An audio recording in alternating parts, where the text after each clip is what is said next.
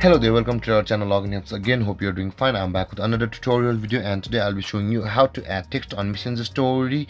And now without further ado let's dive right into the video. But before that don't forget to like subscribe and hit that bell icon for more videos. Okay let's open up our messenger app first. And before you directly add text on messenger story you need to know a thing that is you can add text on messenger story. Either it's a video or a picture uh, by the same process. Now to add text let's create a story first after that let's select a picture of me myself and here it is. And after that you can see the text option over here which says the AA uh, which is the second option at the top right corner of your phone just tap there.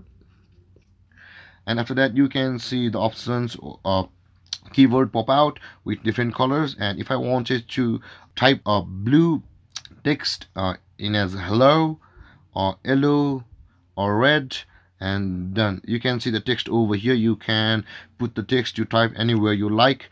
And there guys this is how you add text on messenger story. And if you have any confusions or questions regarding the topic don't hesitate to comment in the comment section below. And don't forget to like subscribe and hit that bell icon for more videos. Thank you for watching guys. Peace